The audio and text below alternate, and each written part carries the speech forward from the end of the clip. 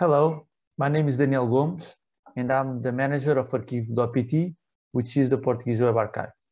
So I invite you to go to Arquivo.pt, and then you can just click here on the menu and choose um, English. Then you can click here on the menu again and click About. And here you can see on the right that we have uh, a list of news and you can click here on the more news and you're going to see a list of a few news that I'm going to briefly present. So if you want to learn more about any of the updates that I'm going to share with you, I invite you to just click on each one of these news and then you're going to have access to a blog post that provides further details. Okay, so the first update is that we integrated the Internet Memory Foundation collection that was donated to us and now it is searchable in arquivo.pt. And we also promoted a, cycle of webinars in collaboration with um, an art uh, library, a Portuguese art, art, library. So this was um, a cycle of webinars uh, to teach people how to use web archives or to create web archives. And this, this uh, webinars targeted the artistic, artistic community.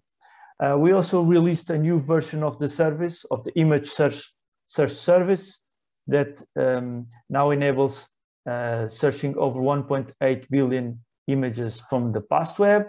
And we also released a new credit suggestions uh, um, component that is now based on uh, on the Microsoft Azure cognitive services, which is quite useful because it released us from, from maintaining this component.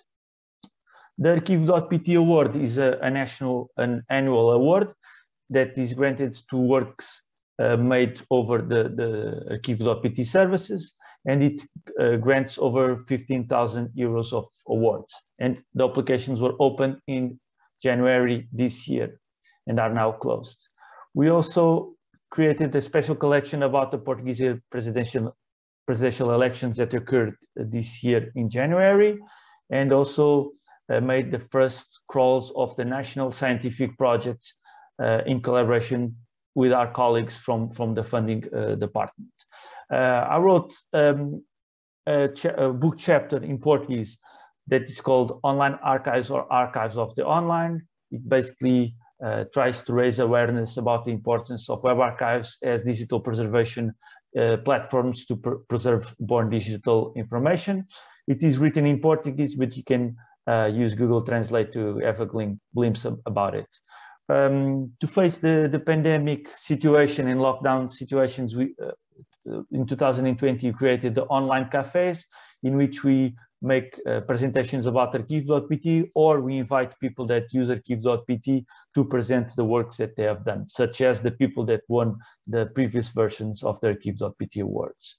Uh, we improved the, the Arquivo.pt interface to make it more consistent um, among devices. So now it is more responsive than it used to be. We joined the World Digital, Digital Preservation uh, Day last year, and we also uh, integrated the GeoCities uh, collection. So basically geocities.com was considered to be the first uh, social platform and it was uh, shut down. And, and at the time, the, the archive team uh, collected information from GeoCities and made it available to a torrent.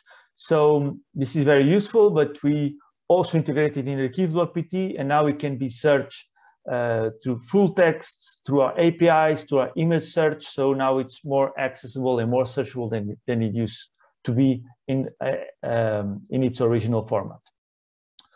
Um, also in 2019, we, we created a collection of about the European uh, elections in collaboration with the Publications Office of the European Union, and now this collection is now fully uh, searchable uh, and accessible, and it has uh, information that in 24 uh, languages. So it's a multilingual, a cross-lingual uh, collection, which can be quite handy for, for research. Um, we also started a collection about the COVID-19 in Portugal.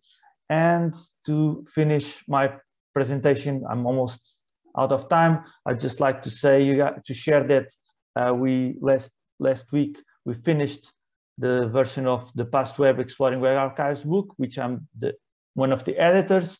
So uh, if you want to pre-order it, feel free to do it or share the word about it.